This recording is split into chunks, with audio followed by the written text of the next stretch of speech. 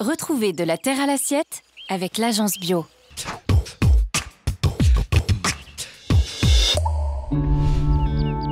Alors d'abord l'audit euh, c'est quelque chose qu'on choisit puisque la démarche de certification à l'agriculture biologique est une démarche volontaire.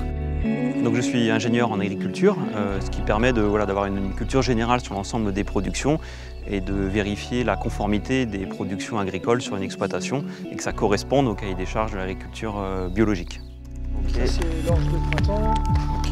Ça apporte une certification à notre système, cette reconnaissance que peut avoir le consommateur puisqu'on sait que le, label bio est quelque chose de, reconnu plus il y aura d'agriculture biologique et mieux cela se portera.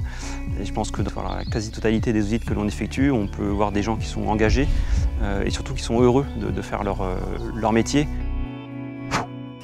C'était de la terre à l'assiette avec l'agence bio.